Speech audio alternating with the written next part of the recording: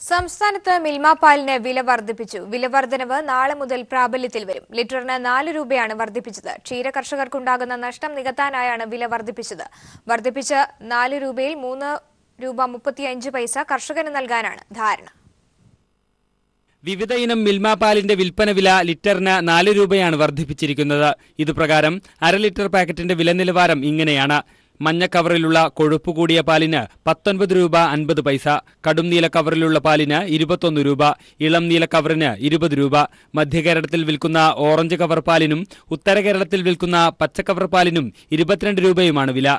പുതുക്കിയ വില ശനിയാഴ്ച മുതൽ നിലവിൽ വരും. മിൽമ ഡയറക്ടർ ബോർഡ് യോഗമാണ് പാൽവില വർദ്ധിപ്പിക്കാൻ തീരുമാനിച്ചത്.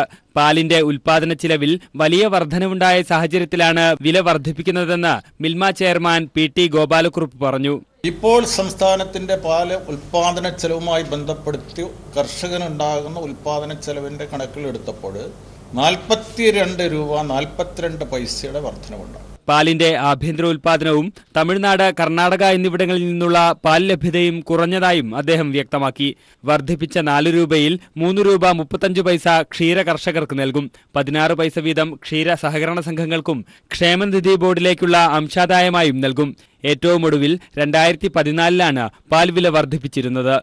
News bureau Thiruvananthapuram.